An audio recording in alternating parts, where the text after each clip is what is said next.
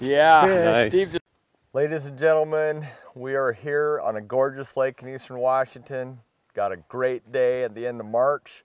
Uh, today our cameraman Clint will be fishing with us. I think it'll be a great show. Stick around. Steve and Clint were trolling woolly buggers beneath massive basalt cliffs. Look at look at the yeah, right up behind you there, Steve. Oh yeah, yellow-bellied marmot. Huh, it's cool. Is he gonna whistle at you? I don't know what he's gonna do. Watching me catch fish, hopefully. Pretty good sized one. All right, there we go.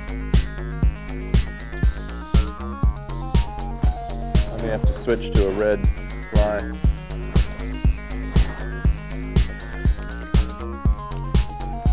The fish was giving Clint quite a tussle.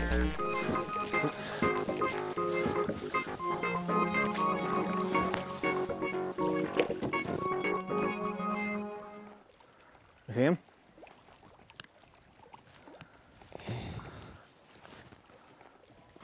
The fish was near the boat, and Clint sat down to get into position to grab the net.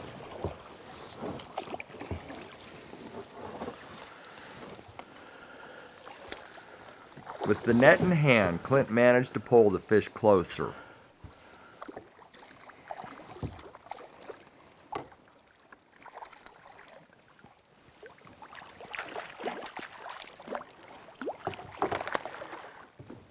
Yeah, I wish I had a nine foot rod.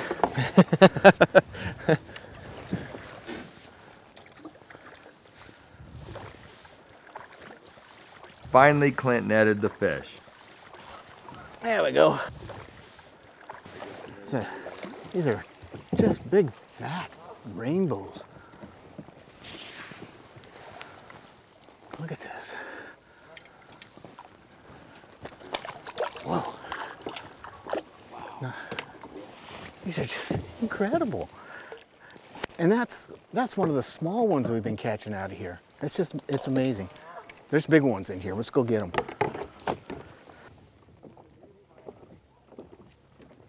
There's one. Got one. All right, that's good news. Chironomid worked. The setup we're using is pretty standard for chironomids. We've got a nice uh, indicator, strike slip indicator, and then we'll go whatever distance to our first fly. We've been about nine to 10 feet, and then that's a snow cone chironomid. And then we also have another snow cone down below at the very bottom.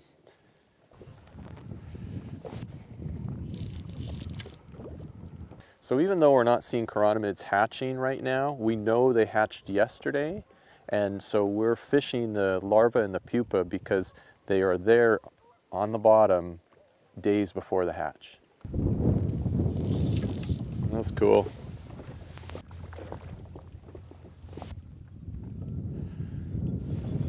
It was kind of doing like you were doing yesterday. I was moving it quite a bit. Plus, we got a lot more wind action here today.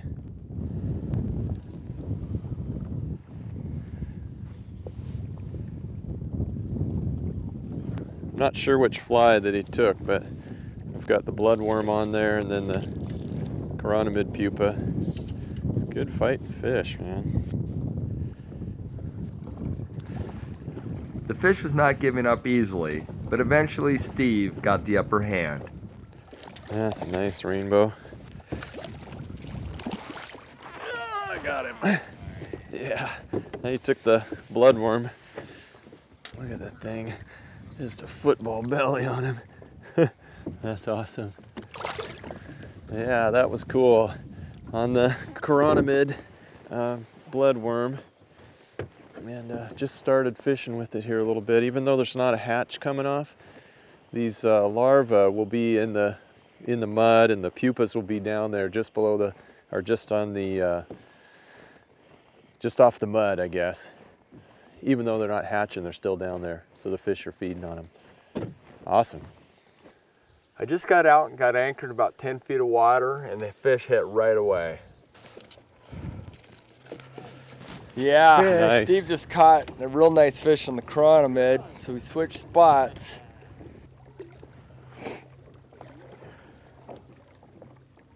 Awesome. Nice job, Ladin. It's very important to know the depth when you're chronomid fishing. I anchored about 10 feet of water, so I had about nine feet of leader from my indicator to my bottom fly. And boy, oh shoot, it's around the anchor rope. It's getting Uh-oh. close. Gosh, dang it. That was close to the anchor rope, but he's off. Just a little bit, just a little bit of a cluster here, but nothing more than usual except the net's wrapped around a pole. Here we go. I think I'm ready now. Oh. Oh yeah, it's one of Oh those boy. little darker one. Beautiful color. Right in there. Oh boy. Oh yeah. Oh man, Nice. it's big one. Oh, oh yeah. Holy smokes. Yeah, nice that's trout. big guys. Wow. Yeah, that's a nice trout. Oh boy, it's is too big. Wow. Oh my gosh, that was a nice fish on the chronomate. Yes. Yeah, that's a good idea coming over here. I mean, Clint and Steve fished, you could see the bay over there, and they had some pretty good strikes, some woolly buggers. But uh, we decided to come over here and chronomid fish, and so far it's paid off. Good job. Thanks. And I was fishing uh, probably 15 feet off the shore and I was picking up weeds on my fly. So I just uh, cast another three feet out. It was clear water and that's where I started hitting fish. The fish made a powerful run. It's a little bigger fish than I caught earlier.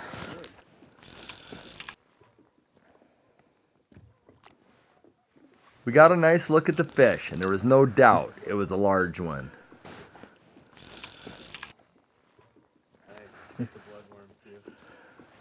On the bloodworm, Clint gradually worked the fish close. yeah it is. Good job, Clint. Whoa, big fish. Beautiful. There we go.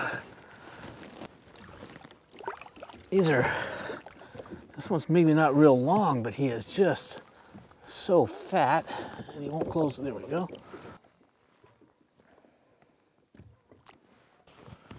There you go, right by Right over my line. No, I didn't go over it. Ah, I missed it by two inches to the left, which I was trying to do. that's what you were trying to do? Uh-huh. Uh-huh. Well, we'll find out when we both start fighting a fish and it happens to be each other. tell you what, if a fish man. that would be interesting.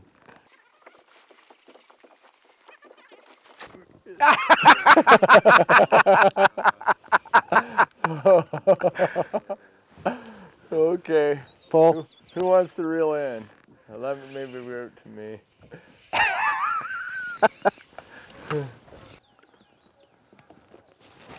there's one. Hey, all right.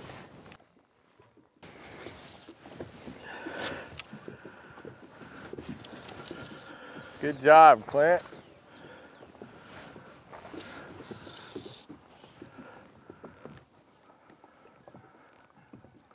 Is it a good one? I think it's a baby. Baby. I don't think there's any babies in this lake. Well, now he's starting to pull a little bit. Yeah. When I hooked into this fish, I, I didn't think it was very big. There wasn't a lot of pull at the beginning. But as I was pulling him in, he decided he didn't like that idea and he put up a pretty good fight. Yeah, yeah, I mean, he's a nice fish. He's got a lot of color on him. They're all pretty nice in this lake. Not tire him out too much.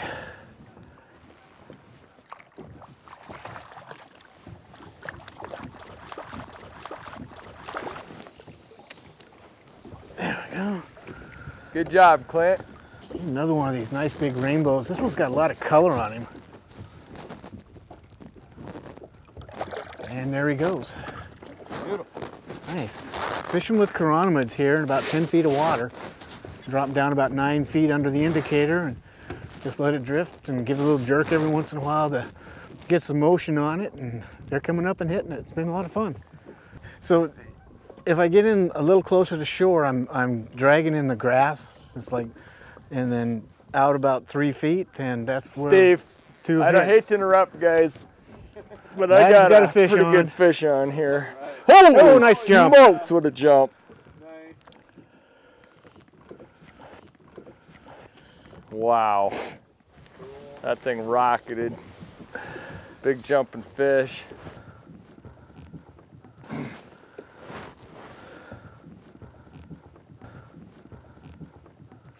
Got about 10, 12 feet of anchor rope over here, and that's not where I want the fish to go. So I'm just gonna kind of put a little side pressure on them.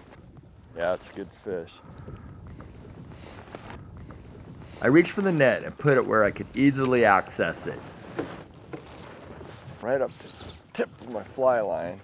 I don't want to go past that because I don't want it to hit that knot.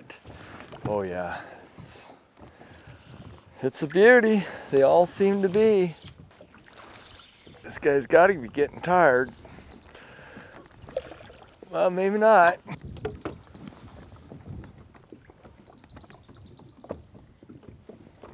Yikes. Oh yeah, beauty. Wow. Yeah, that's a little different colored fish. It's a darker fish. I think some of these fish are going into, is it a fall spawn? Boy, big fat, big fat ombre. And then there- another nice fish in the chronomid. So anyway, it's been a great day here and we're gonna just keep plugging away with these things and it's a lot of fun.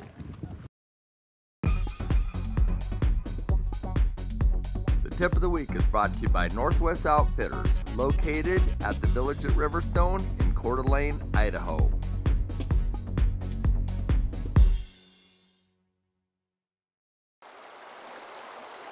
I'm sure that there are a fish or two off that ledge, don't you think? Oh yeah.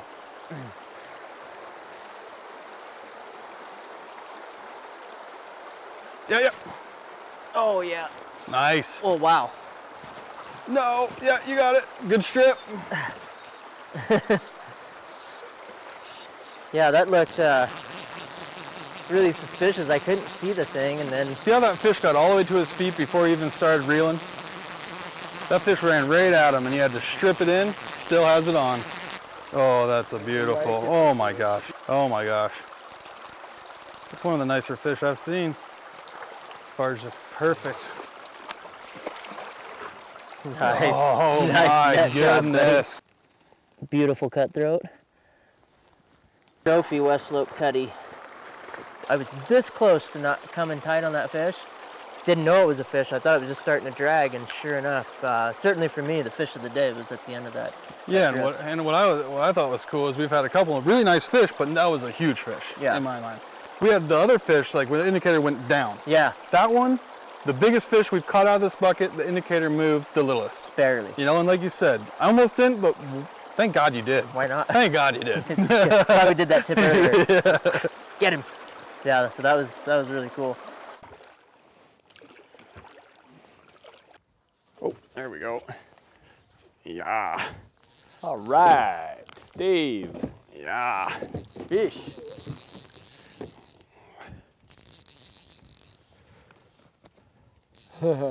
Yeah, hit the big red one. Is that what you have on that? Red yeah, I woolly bugger? switched. Clint gave me his pole. Nice. Yeah. Coming at me. Boy, there's some bend to that rod. Course- Yeah, well, it's a four weight rod. yeah, it's four weight rod. That'll do it. Yeah. It's a nice trout down there.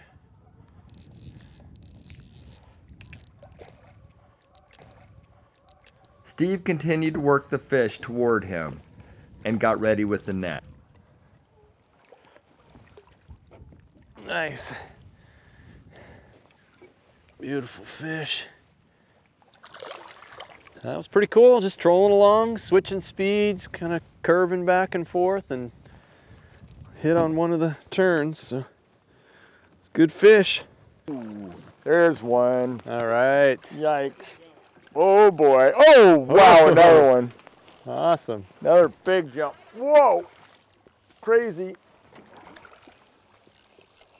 Better get out of your way here. I was trolling right next to the cliff. I was trying to get as deep as I could. Fish hit. Boom. Great fish. Finally hit one along this cliff. Yeah. It's on the black woolly bugger? Yeah, it's was a black woolly bugger with a little purple flash in it, Uh-huh. or blue flash. Likes the shade. Yep, seeking refuge. Oh, there's a fish. Oh boy, a Might double. have missed him. Might have missed him though. You still have him? Uh, I don't think so. It's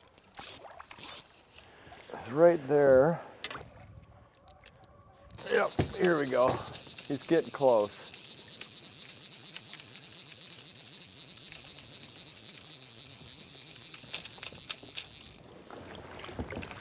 And he's in.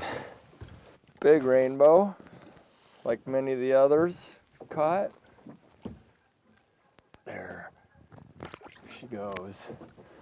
All right, just trolling a nice black woolly bugger right along the cliff, and Steve just caught one earlier, and then I pounded that one right there. It's been a pretty cool trip so far. A lot of nice fish. Ladies and gentlemen, we just have a gorgeous day here in March, catching a ton of fish, and I just feel like I'm on top of the world.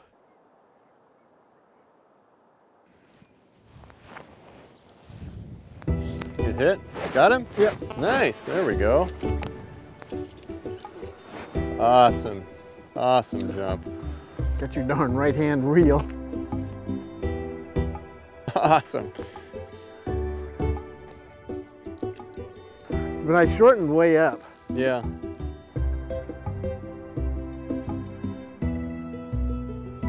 Clint continued to battle the hard fighting fish.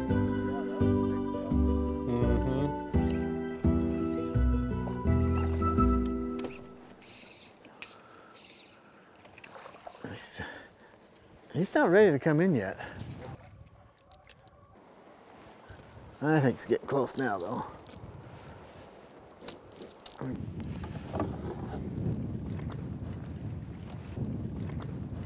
Clint managed to bring the fish nearer the boat where he was ready with the net. Ah, come on back, yeah.